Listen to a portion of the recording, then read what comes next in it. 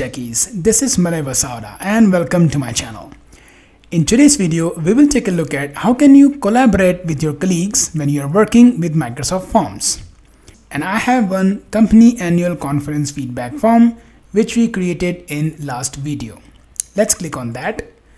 Now let us say that I'm going on leave from tomorrow and this form must be completed from a design point of view to deliver it to the users.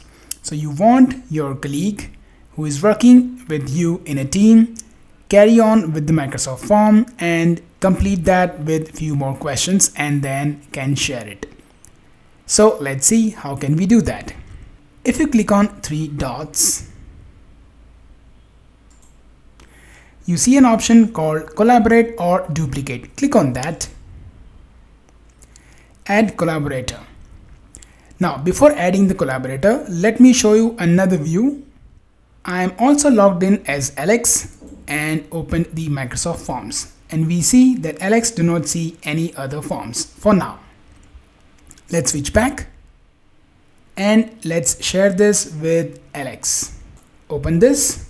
Anyone with Office 365 work or school account can edit and view results. We do not want that only specific people in MSFT with the link can edit and view the results. So let's click on that.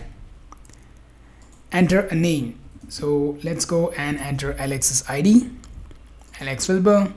You can see it is now shared with Alex. You can actually copy this and provide this link to Alex also. So for now, we are already logged in as Alex. Let's switch back. So now we are on the home page of the Microsoft Forms, logged in as Alex you see shared with me. Click on that. And you see that now this form is shared with me, Alex by myself. You can click on this and click on open.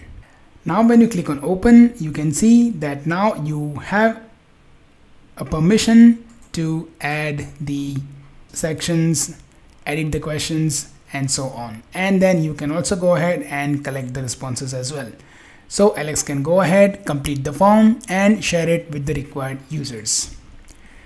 So I hope this simple example helped you to understand how can you collaborate with your colleagues while you are designing the Microsoft Forms.